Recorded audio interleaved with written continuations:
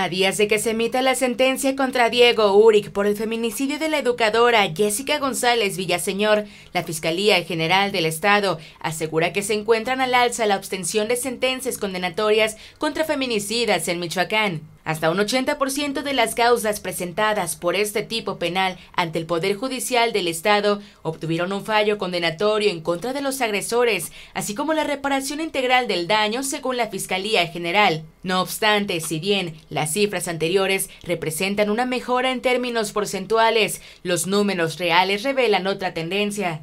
La Fiscalía obtuvo un total de 15 sentencias contra 17 personas detenidas durante el 2022 por el delito de feminicidio. Sin embargo, este año la Fiscalía Regional de Jiquilpan se presentó a la reclasificación de un feminicidio a homicidio culposo y un juicio abreviado que la familia ha rechazado. No obstante, el organismo autónomo señala contar con sentencias por homicidios en agravio de la mujer por secuestro agravado de la mujer. Muchas de las causas anteriores están relacionadas directamente a otros contextos como ambientales, activismo y violencia generalizada.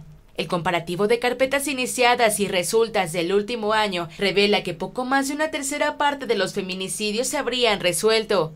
Las cifras del Secretariado Ejecutivo del Sistema Nacional de Seguridad Pública revelaron que durante el 2022 fueron un total de 42 carpetas de investigación abiertas por el delito en los 12 meses del 2022 y más de 200 en los últimos seis años. En entrevista con medios locales de comunicación, el fiscal Adrián López Solís reconoció que aun con el reto que representa el fenómeno delictivo y de violencia contra las mujeres a nivel Estado, justificó que se cuenta con un avance progresivo en torno a castigar los feminicidios en comparación a años pasados.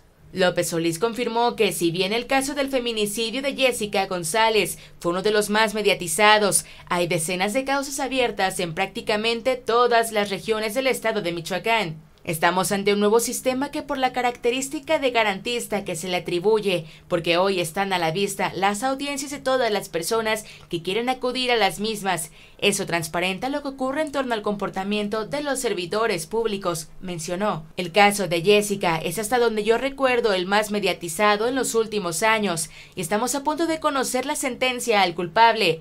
No es el único caso donde obtuvimos una sentencia condenatoria y muchos pasaron inadvertidos por la discreción, argumentó el fiscal. El 2022 ha sido el año más violento para las mujeres de la entidad. Michoacán fue el cuarto lugar en este delito, con 232 víctimas, misma posición que ocupa en el delito de lesiones dolosas, con 4.290 víctimas durante los últimos 12 meses.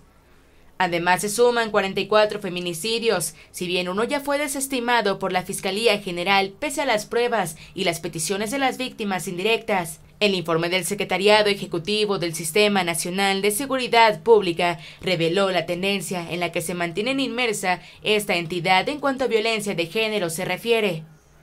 Informó para Multimedios Televisión Mariana Trejo.